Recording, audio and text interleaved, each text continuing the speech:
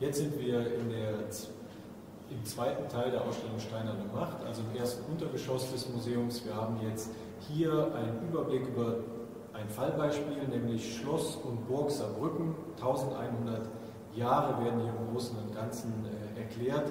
Das passt sehr gut zum ersten Teil, wo das dann eben international verglichen wird, wird hier eben dieses Fallbeispiel für denselben Zeitraum ähm, am, am Ort direkt gezeigt. Und der Vorteil ist, dass wir am Ende unseres Rundganges hier dann auch in die unterirdische Burg hineingehen und äh, dort die alten ähm, Originalbefunde, die Ruinen dann sehen und das Ganze auch nochmal äh, anders nachvollziehen können. So, hier haben wir jetzt einen Orientierungsbereich, der in jede Richtung etwas äh, anderes irgendwie bereithält. Wir sind eben gerade von oben nach unten gekommen, haben hier unsere, unsere Begrüßung mit einem kurzen Film, der das Schloss Saarbrücken im 19. und 20. Jahrhundert mit seiner Bauentwicklung zeigt. Auch hier eben dreisprachig. Wir haben dann oben eine, ein Gemälde von einem unbekannten Künstler aus dem Jahr 1772 wird es etwa stammen. Das zeigt das Saartal mit einem künstlichen Berg im Hintergrund, der im Grunde von dem Künstler nur eingebracht wurde, um das Schloss Saarbrücken vorne in Weiß zu sehen, äh, zu überhöhen, ähm, um, um, dem Ganzen eine Kulisse zu schaffen. Weil das Schloss selber ist hier auch äh, etwas größer dargestellt als im Original. Wir sehen das auf unserem Foto, was hier drunter ist. Äh, der Mittelbau des heutigen Schlosses entspricht in seiner rekonstruierten Höhe der ursprünglichen Höhe des echten ähm, Barockschlosses aus dem 18. Jahrhundert, das 1748 gebaut wurde. Oben fällt auf die Flößer in der Saar. Ähm, man sieht dort einen kleinen Bereich, ähm, wo verschiedene Holzstämme aneinander gebunden sind. Wir sehen das aufgeräumte Saartal mit St. Johann noch mit eigener Stadtmauer, Saarbrücken äh, auf der höher gelegenen Seite mit dem Schloss. Und äh, darunter die heutige Ansicht für dieses Foto mussten wir mit einer Leiter 50 Meter hochsteigen und haben ein Panorama fotografiert, das aneinandergesetzt wurde. Man kann verschiedene äh, Kirchtürme miteinander abgleichen, sodass das äh, zusammenpasst. Und natürlich ist bei uns im 19. und frühen 20. Jahrhundert der, das Bevölkerungswachstum so enorm gewesen, dass unsere Kulturlandschaft heute ganz anders aussieht. Weltweit betrachtet muss man nochmal einfach sich vor Augen führen, dass wir seit 1970 hat sich die Weltbevölkerung verdoppelt. Wir sind jetzt bei 7 Milliarden Menschen. Aber dieser Effekt der letzten 50 Jahre äh, zeigt sich bei uns eben nicht. Das ist bei uns diese frühere Kulturlandschaftsveränderung äh, aus dem 19., frühen 20. Jahrhundert, die die Landschaft so verdichtet hat. Ja. Das Ganze wird umrahmt von zwei Gartenfiguren des Barockgartens vom Schloss. Das sind hier die Originale, die wir hier ausstellen und äh, es gab noch eine Reihe mehr. Das sind verschiedene Allegorien, äh, hier bezogen auf Kontinente, Afrika, ähm, Asien sind jetzt hier ausgestellt und da gibt es eben noch eine Reihe mehr und das ist so ein bisschen ein Zeichen für den Prunk des ehemaligen Schlosses. Der Prunk war enorm. Wir haben bei Schloss Karlsberg äh, den günstigen Fall, dass sehr viel des Inventars eben nach München gegangen sind, die Gemäldesammlung und auch Mobiliar. Äh, Mobiliar befindet sich in der Residenz München beim Schloss Saarbrücken, das genau wie Schloss Karlsberg 1793 äh, abgebrannt ist, geplündert wurde. Ähm, da ist es so, dass wir vom Inventar nichts mehr konkret nachweisen können, vielleicht noch das Frühstücksservice von äh, Fürst Wilhelm Heinrich. Ansonsten haben wir hier ein Gemälde ausgestellt, das von der Familie Bruch, von der Brauerfamilie hier geliehen wurde. Das ist ein Gemälde, das angeblich aus dem Saarbrücker Schloss stammen soll. Es wird 1753 in der Inventarliste aber nicht aufgeführt. Auch der Künstler ist nicht ganz klar, ob es der Appiani ist. Ähm, äh, wir haben eine Spezialistin äh, angefragt, die es aber über das Digitalisat, also über die Datei allein nicht beurteilen konnte. Ähm, es muss also nach 1753 müsste es ans Schloss gekommen sein, das Gemälde, und ist dann in den Familienbesitz der, der Bruchs gegangen, die beim Löschen des Schlosses geholfen haben sollen. Das Ganze ist eine Legende, auch die sich in der Familie tradiert hat. Und wir wissen also nicht genau, stammt dieses äh, Gemälde wirklich aus dem Schloss und wer hat es genau gemalt. Wir sehen aber äh, Venus mit äh, Vulkanus in seiner Schmiede. Er macht gerade für ihren Sohn, den Kriegsgott, die Waffen. Wir haben hier eine typische mythologische Darstellung. und ähm, sie steht bei uns symbolisch für das große äh, Inventar des reich ausgeschmückten Barockschlosses, das immerhin durch eine dezidierte Raumbeschreibung bis zur Tapete zu den Gardinen im Detail nachvollziehbar ist. Ähm, die stammt selber aus der Mitte des 18. Jahrhunderts. Hier ist von Pitz noch der, der Schloss Brand mit dargestellt und wir gehen jetzt quasi äh, die Geschichte rückwärts, wie wir das auch oben gemacht haben, indem wir mit den romantischen äh, Malereien begonnen haben, beginnen wir hier auch vom 20. Jahrhundert und gehen rückwärts, hier eben ans Ende des 18. Jahrhunderts und gleichzeitig auch hier zu diesem Sarkophag. Der Sarkophag ist genau wie das Gemälde ein Symbol. Er steht nämlich für das Ende der Herrschaft hier der Grafschaft Saarbrücken. Nach über 800 Jahren wurde in diesem Sarg äh, der letzte Fürst Fürst Ludwig begraben. Er ist 1794 äh, gestorben und in Usingen begraben worden. 1995 ähm, hat man dann seinen Sarg aus Usingen in die Schlosskirche Saarbrücken, die man oben äh, mit dem Foto sieht, ähm, wurde er überführt, sollte dort in der Gruft seines Vaters, Fürst Wilhelm Heinrich, mitbestattet werden. Und der Außensarg, den wir hier sehen, der war einfach zu, zu groß, der, der passte da nicht rein. Man hat dann einfach den Innensarg mit dem Skelett in der Gruft von Wilhelm Heinrich bestattet. Wilhelm Heinrich liegt also heute äh, als Vater dann auch mit in der Gruft und äh, spannend war bei den Untersuchungen damals, er hatte sogar eine, eine Blombe noch im Mund, also er wurde gerichtsmedizinisch untersucht, Wilhelm Heinrich, und äh, es gibt dazu eben auch ein, ein, Gutachten. So, wir haben jetzt hier eben diesen leeren Sarg und haben dann Fürst Ludwig dargestellt mit Fürstin und Mätresse. Das Mätressenwesen war im 18. Jahrhundert ganz wichtig. Das spielen wir gleich auch noch mit Wilhelm Heinrich. Äh, gehen wir da weiter drauf ein. Ähm, haben aber in der Ausstellung auch, und ich zeige das jetzt mal so, haben eine Station integriert, wo wir verschiedene Objekte zum Thema äh, Liebe äh, zeigen. Das sind Objekte, die alle einzigartig sind. Ähm, also schauen wir mal einmal gerade drauf bei der Gelegenheit. Liebe ist ein großes Thema eben im, Barock. Äh, das eine ist, eine Fürstin wird früh zur Fürstin erzogen und ähm, muss dann heiraten. Das ist also eine arrangierte Ehe und gleichzeitig hat der Fürst dann auch in seinem Leben oft verschiedene Mätressen eben äh, an seiner Seite gehabt. Und dann finden wir aber in über 10.000 äh, Funden, die es hier vom Schlossfelsen gibt, vom Saarbrücker Schlossberg, äh, lauter so Details wie hier eine, eine kleine Sandsteinplatte ähm, mit Eingravierung von Mann und Frau, die sich die Hand halten und daneben wie ein Schmetterling zwei gegeneinander gestellte Herzen. Das ist ein sehr persönlicher Ausdruck äh, von, von Liebe. Wir haben auch hier einen herzförmigen Anhänger vermutlich aus Bergkristall, der aus dem Gefängnisschacht hier vom Barockschloss stammt und daneben ein Amor mit Pfeil oder eine Glassterbe, wir beide. Also das Thema der, Thema der arrangierten und echten Liebe ist äh, eins, was natürlich durch die Jahrhunderte bis in die Antike immer ein großes Thema war und uns beschäftigt und das wir hier in der Ausstellung aufgreifen. Ansonsten haben wir uns die dir den Stammbaum angeschaut, also die Grafschaft Saarbrücken, die irgendwo im 10., 11. Jahrhundert ihren Ursprung hat, hat eine Ahnenfolge bis eben 1794 mit dem Tod von Fürst Ludwig. Wir haben hier einmal versucht, das vereinfacht wiederzugeben, indem man eben in dieser Ahnenfolge immer die Brüche sieht, wo es eben ähm, Unterbrechungen der, der direkten äh, Abfolge gibt, also der der männlichen Linie zum Beispiel, wo dann hier zum Beispiel 1728 die Fürsten von Nassau-Usingen hier hingekommen sind und den Zweig weitergeführt haben. Ähm, wir haben daneben gestellt die verschiedenen Bauphasen. Wir haben das Barockschloss am Ende, das 1748 gebaut wurde, 1793 zerstört wurde. Wir haben davor schon ein Schloss gehabt, das Renaissance-Schloss, das war 1617 fertiggestellt.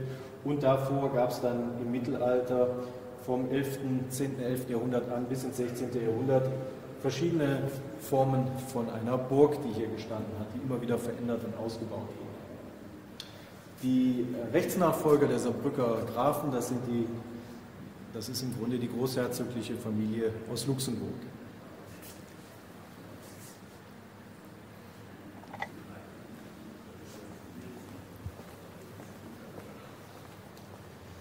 Saarbrücker Barockschloss ist ähm, ein typischer Bau mit zwei verschiedenen Flügeln und diesem Mittelbau, also diese Hufeisenform, die aus Versailles und vielen anderen Barockschlössern dieser Zeit bekannt ist. Versailles war da immer das Vorbild. Es gibt diese Gärten, die dazugehören. Das Ganze ist ein typischer äh, Bauansatz, ähm, der sich immer wieder gefunden hat. Wir, hat. wir, haben in solchen Schlössern eine Aufteilung, dass eben ein Flügel für den Fürsten war, einer für die Fürstin. Wir haben eine ganz klare Raumaufteilung, die sich überall ähnlich wiederfindet.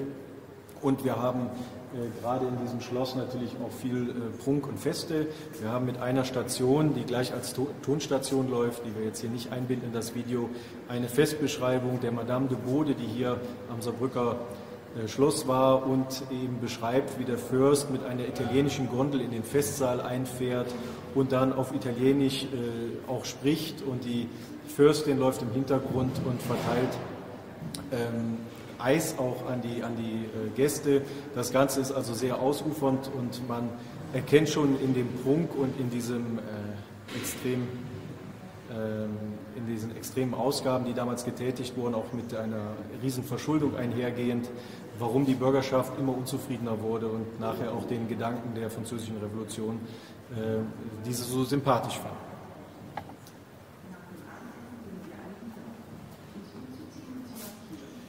Hier sehen wir jetzt Objekte des äh, Barockschlosses. Also wir haben eben schon angedeutet, über 10.000 archäologische Funde und wir haben nur ein paar herausgegriffen. Ich will das im Einzelnen nicht näher erklären. Wir haben hier äh, Gartenfiguren dazu, äh, hier aus dem Barockgarten aus Terrakotta mit dieser Putte mit dem Kopf oder hier ein Fuß, wo ein Hund noch daneben zu sehen ist, aber eben auch original chinesisches Porzellan, das im 17. Jahrhundert noch importiert wurde. Im 18. Jahrhundert hat man es dann imitiert und nachher zum Beispiel in Ottweiler lokal nachproduziert. Gegenüberliegend haben wir dann etwas ältere Objekte, die nämlich zu dem ersten Schloss in Saarbrücken gehören, zum sogenannten Renaissance-Schloss, das 1617 fertiggestellt wurde. Wir haben hier Objekte, die so aus der Zeit des äh, zweite Hälfte 16. Jahrhundert, frühes 17. Jahrhundert stammen. Das sind ganz unterschiedliche Dinge, aber man muss sich immer vorstellen, dass sie aus über 10.000 archäologischen Funden äh, herausgefiltert wurden. Das war ähm, das meiste ist halt eben Keramik, die zerbrochen ist oder zum Beispiel auch Knochenmaterial. Und insgesamt ist die Situation, dass man selbst bei über 10.000 Objekten sehr wenig nur finden kann, dass man wirklich so präsentieren äh, kann in einer Ausstellung, dass die Besucher damit auch was anfangen können. Und äh, man muss ja auch zu den Objekten eine klare Geschichte erzählen. Das machen wir im Einzelnen immer neben der Vitrine, indem zu jedem Objekt immer auch einige Sätze beschrieben sind. Wir haben hier ein Zunftzeichen eines Schmiedes oder, und das ist eigentlich mein persönliches Highlight in dieser Vitrine, diese Glasröhrchen gehören zu einem Alambik. Das ist also so ein, äh, ein rundes Glasgefäß mit einem Kolben, der hier auslief, wo man dann als Alchemist zum Beispiel äh, Experimente machen konnte, normale Produkte herstellen konnte, die man damals für den Alltag gebraucht hat, wo man dachte zum Beispiel Medizin, andere Dinge. Und ähm, dass sich so ein Alambik, auch wenn es hier nur Fragmente sind, überhaupt aus dieser Zeit erhält, das ist schon was Besonderes. Ja, und wir reden hier eben von einem Umfeld, das als Schloss im Grunde so aussah, wie es sich jetzt hier zeigt. Ich mache das einmal so.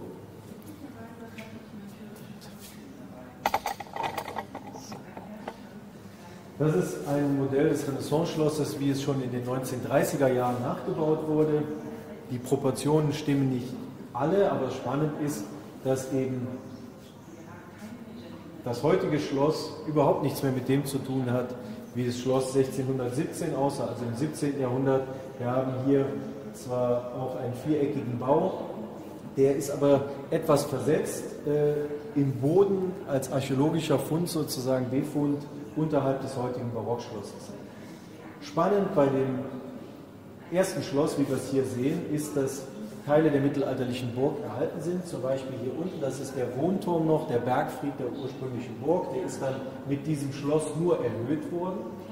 Wir haben dann auch hier vorne in der, in, im Außenbereich verschiedene hervorspringende Türme, die gelben, hier die drei. Das sind ehemalige Verteidigungstürme der Burg. Der graue, das ist ein Toilettenturm, ein Latrinenturm. Und dann haben wir da noch einen Erker. Und so kann man hier anhand einzelner Fotos, die wir außenrum um das Modell präsentieren, sehr gut einzelne Funktionsbereiche des ganzen Schlosses nachvollziehen.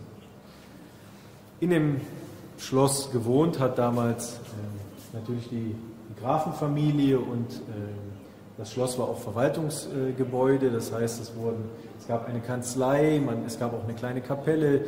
Ähm, das war so eine äh, ja, war für die Bürgerschaft insgesamt für die Verwaltung sehr wichtig. Es wurde dort auch gebraut, also Bier gebraut und es gab Küchen und so weiter. Sehr lebendig muss man sich das vorstellen. Ähm, vor diesem Schloss stand eben die Burg, die ich hier schon angedeutet habe, die auch nochmal anders aussah, als das sich jetzt hier zeigt. Es gibt eben nur Reste der Burg, die sich im Renaissance-Schloss erhalten haben.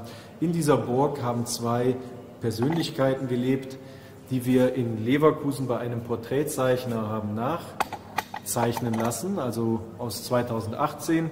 Das ist einmal Hieronymus Bock, äh, ein, einer der beiden Gründer der Fachdisziplin Botanik, ähm, ist deshalb sehr wichtige Persönlichkeit, war hier als Leibarzt beschäftigt, hat ein Buch geschrieben, die sogenannte Kräuterkunde, die schon im 16. Jahrhundert sechsmal aufgelegt wurde. Wir haben dieses Buch hier auch ausgestellt aus dem 16. Jahrhundert, ein, ein Druck davon.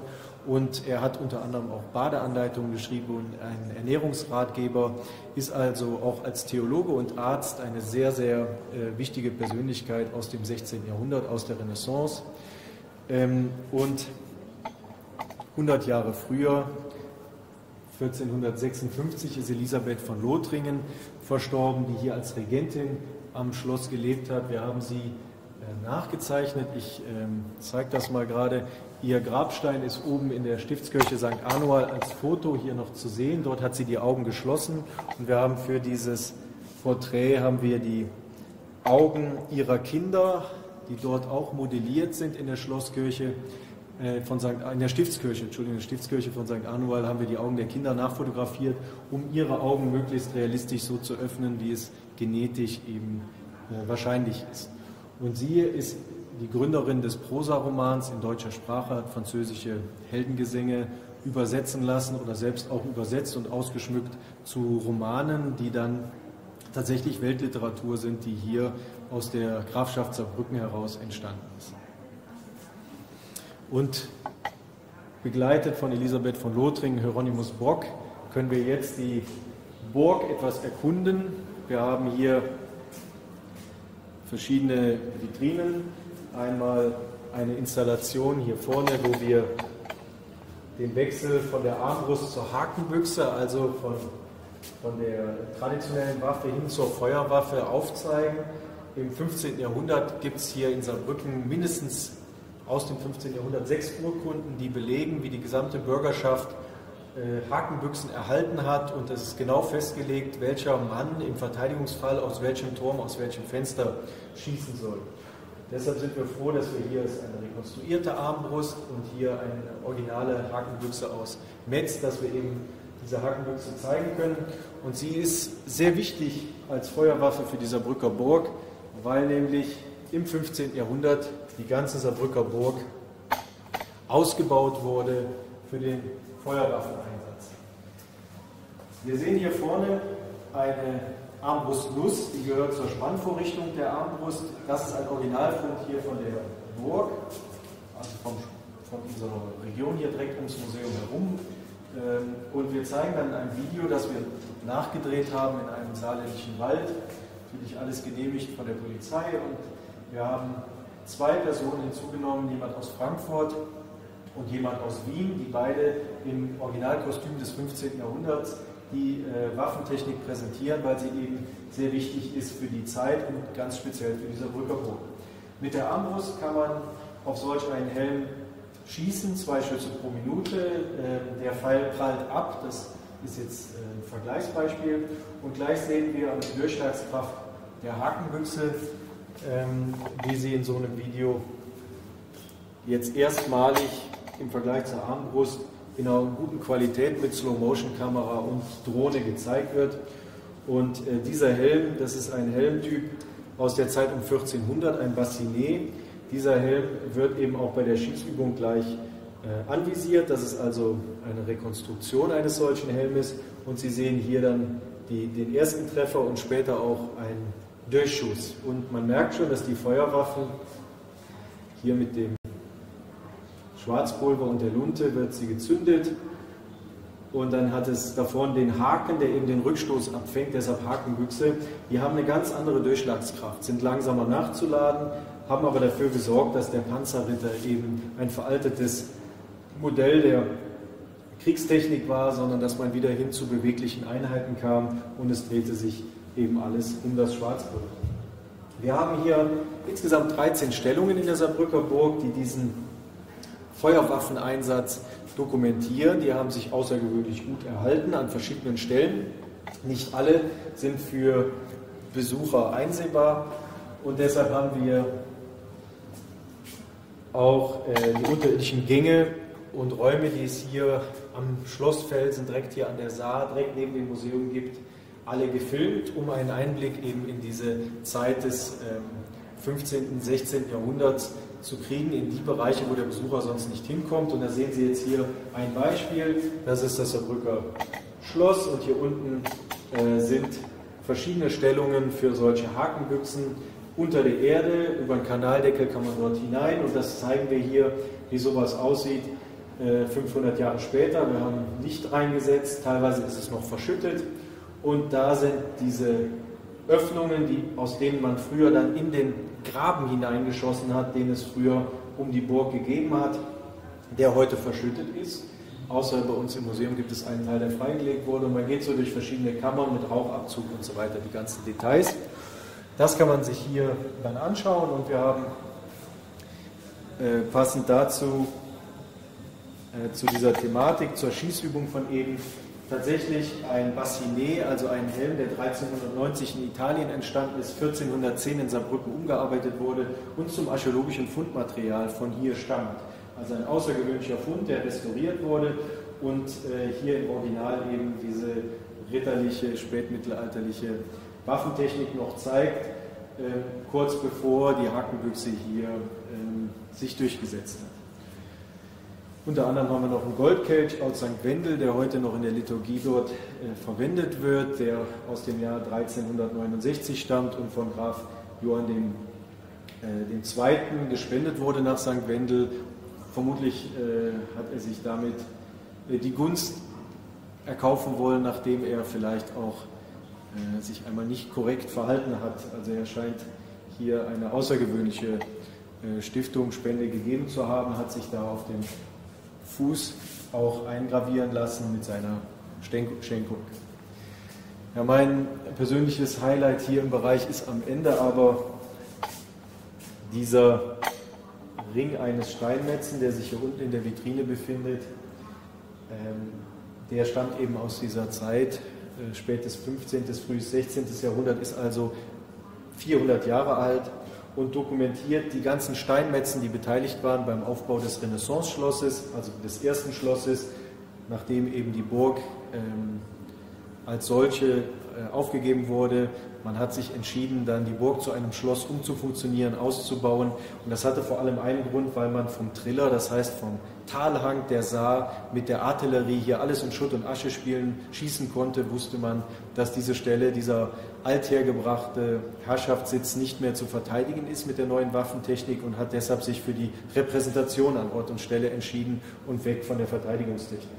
Und in diesem Umbau waren eine ganze Menge Steinmetzen beteiligt. Wir wissen, dass es mindestens 25 waren, die dort 25 verschiedene Werkstätten, die dort beteiligt waren. Und einer dieser Steinmetzen hat eben seinen Ring verloren, der dann zum archäologischen Fundmaterial gekommen ist. Ähm, und der ist komplett unbeschädigt. Sein Symbol ist dort eingraviert. Und was sind Steinmetzzeichen? Im Grunde sind das solche kleinen äh, Zeichen, wie Sie hier auf diesem Kapitell, das wir hier falsch rum zeigen, das ist normal oben auf einer Säule drauf, ähm, ist hier ein Steinmetzzeichen. Oder hier ist es sogar original schon in der Burg und das sieht man gleich, wenn man bei uns in die unterirdische Burg hineingeht, in die originalen Ruinen. Da haben wir 92 solcher Steinmetzzeichen und da leiten wir das Thema hier ein.